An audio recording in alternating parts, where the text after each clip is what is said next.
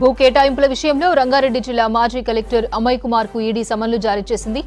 ఈ నెల ఇరవై రెండున లేదా ఇరవై మూడున విచారణకు హాజరు కావాలని నోటీసులో పేర్కొన్నారు.